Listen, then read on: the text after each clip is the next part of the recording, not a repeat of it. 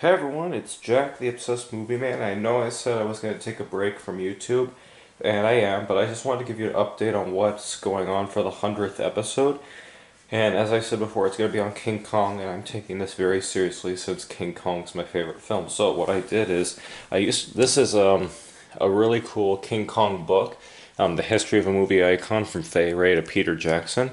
And I actually got this book when the Peter Jackson movie came out but the funny thing is, that's not the one that I originally had because at some point I lost this book.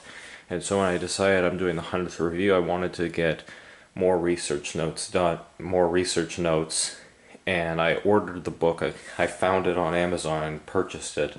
So that's going to be one of the that's going to be one of the main sources of information along with the movie because I'm going to rewatch the movie. Actually, before the whole COVID thing, the last movie I saw in theaters was King Kong. They released it, and I got to see it with CTQ.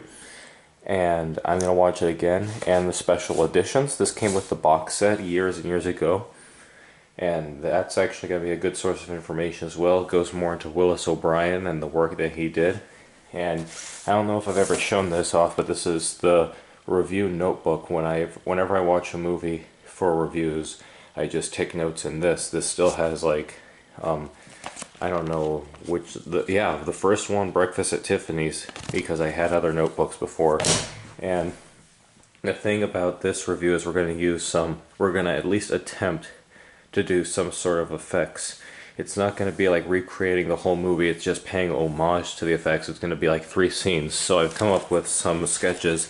This is still not guaranteed that it'll be in the review but I'm trying at least. Um, me and CTQ. CTQ, by the way, helped make the Oz head, and hopefully in the future we'll be doing a tutorial on how to make it, because I know some people have asked how to make the Oz head. We want to try and make a King Kong hand, and we're going to have an actor or actress be in the hand for when they Kong picks them up. Another scene I want to attempt to try is the log scene.